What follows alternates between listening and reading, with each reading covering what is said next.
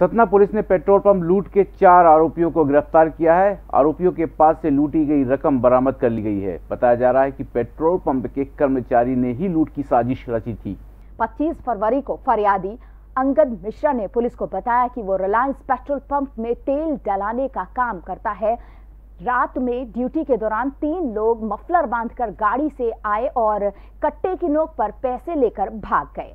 उसने बताया कि उस दौरान उसके साथी कर्मचारी जयप्रकाश सेन और अजीत कुमार सोनी थे। घटना को लेकर जब पुलिस ने जाँच शुरू की तो पता चला कि जिस बाइक से बदमाश आए थे, वो पेट्रोल पंप कर्मचारी अजीत सोनी की थी। पुलिस ने जब सख्ती से पूछताछ शुरू की तो अजीत ने बताया कि लूट की साजिश उसी ने रची थी, जिसमें उसके साथ तीन और दोस्त थे। पुलिस ने तीनों आरोपियों सहित मास्टरमाइंड अजीत को गिरफ़्तार कर लिया है। पुलिस ने है। 25 फरवरी को एक petrol pump, Reliance petrol pump पे दो युवकों ने जाके अर्ली मॉर्निंग चार बजे लूट की थी। उसमें दो आरोपी मोटरसाइकिल से गए थे और वहाँ ओवर पावर करके हथियारों के दम पे चौरासी हज़ार रुपये कैश की लूट की थी।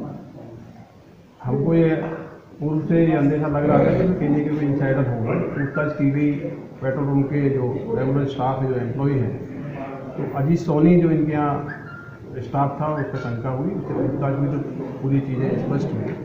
अजीत सोनी ने अपने जो मित्र है नारायण गुप्ता, जो पुराना क्रिमिनल है और जो डेकॉइड गैंग का सदस्य रह चुका है तो तीन सौ चौसठ का मामला भी है। अजीत सोनी खुद वहाँ एम्प्लॉय था उसने नारायण सोनी के साथ उनकी प्लानिंग की प्लानिंग करके दो दिन पहले रैकी की। और अपनी जो मोटरसाइकिल थी, उसको कैमोलाइज करके उस पर एक कवर ढक दिया गया नंबर प्लेट छुपा दिया गया और सामने की नंबर प्लेट खोल दी गई। उस मोटरसाइकिल के साथ दो लोग इनके साथी थे, राजू और कपिल। इनको तैयार किया और लूट करने के लिए दोनों को भेजा। दोनों लोगों ने पूर्व योजना के तहत, क्योंकि अजीत सोनी ऑलरेडी घटनास्थल पर मौजूद था और ये कोई संभावना थी कि इसका विरोध नहीं होगा। आसानी से चौरासी हज़ार की लूट करने में सफल रही। एम्प्लॉय की पूछताछ हुई तो अजीत सोनी के माध्यम से पूरा इसमें खुलासा हुआ है। इसमें जो चारों आरोपी हैं, दो वो आरोपी राजू और कपिल जो मौके पर मौजूद थे, दो आरोपी जो षडयंत्र में शामिल थे। एक पेट्रोल पंप का कर्मचारी अजीत सोनी और उसका दो नारायण गुप्ता, चारों को अरेस्ट किया गया है। संगीत की स्वर लहरियों से सांस्कृतिक ताने बाने तक। चंबल के पीड़ों से नक्सलवादियों के गढ़ तक। झोपड़ी से महलों तक। ठेलों से मेलों तक। पगडंडियों से सड़कों तक। गाँव से शहरों तक। व्यापार से उद्योगों तक। राजनीति से कूटनीति तक। दखन न्यूज़। आपके हक।